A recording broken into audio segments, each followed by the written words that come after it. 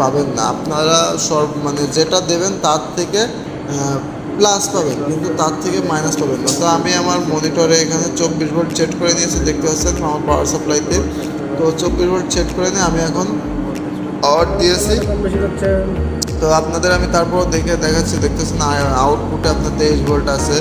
তো এখন আমি ভোল্টেজটা তো? বাড়াইতে দেখতেছেন আমাদের এলইডি সিক্সটি লাইন দিয়েছে এলইডি সিক্সটি হচ্ছে 14 তিরিশ ভোল্ট সরি বত্রিশ ভোল্ট পঞ্চাশ ওয়াট তো আমি আপনাদের বাড়ায় দেখাইতেছি। এখন দেখতেছেন তেইশ ভোল্টের লাইট আলো কম তো আমি ভোল্টেজ বাড়ায় আপনাদেরকে। দেখাচ্ছি। তো দেখতেছেন বন্ধুরা আঠাশ ভোল্ট উনত্রিশ ভোল্ট আমি আপনাদের লোড দিয়ে দেখাইতেছি দেখাইছি।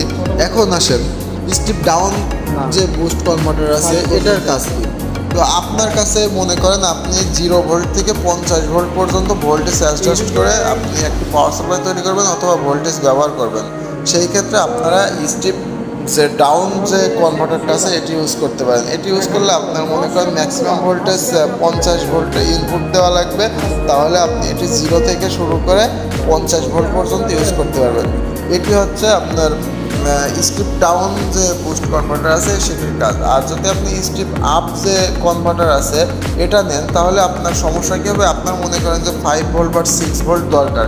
সেই ক্ষেত্রে আপনি কিন্তু কনভার্টার ইউজ করতে পারবেন না। আপনার আলাদা কোনো পাওয়ার সাপ্লাই বা কোনো ভোল্টেজ রেগুলেটর আইসি বা ট্রানজিস্টর আপনার ইউজ করা লাগবে। এই জন্য আমার মনে হয় আপনাদের জন্য বেস্ট হবে স্টেপ ডাউন যে বুস্ট কনভার্টারটি আছে সেটি। কারণ এটা নিলে কিন্তু আপনারা জিরো থেকে শুরু করে পঞ্চাশ পর্যন্ত করতে পারবেন। তো বন্ধুরা, আশা করি আমার ভিডিওটি আপনারা বুঝছেন। আর এটি আমি কোথা থেকে কিনছি তার লিঙ্ক আমি ডেসক্রিপশনে দিয়ে দেবো। সকলকে ধন্যবাদ। ভালো থাকবেন।